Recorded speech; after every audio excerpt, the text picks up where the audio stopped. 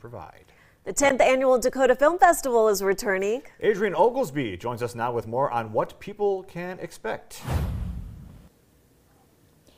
And we're inside the Belle Mehus Auditorium where the event will take place. Doors open tonight at 6. A free event called Reel Local will begin at 7, and this is where all the action will take place. I am here right now with Brian Keitel, the festival organizer, who can tell us a little bit more.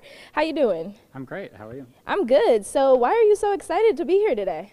Well, first of all, we've been sort of offline for two years. 2020 was a completely virtual event.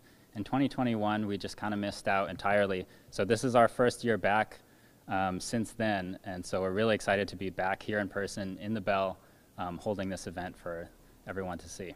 So what experience can people expect whenever they come out? They can expect a really interesting variety of films. We got a bunch of short films, 11 films each night, um, and it's just from genre to genre to genre. You're going to see the whole spectrum of films here tonight.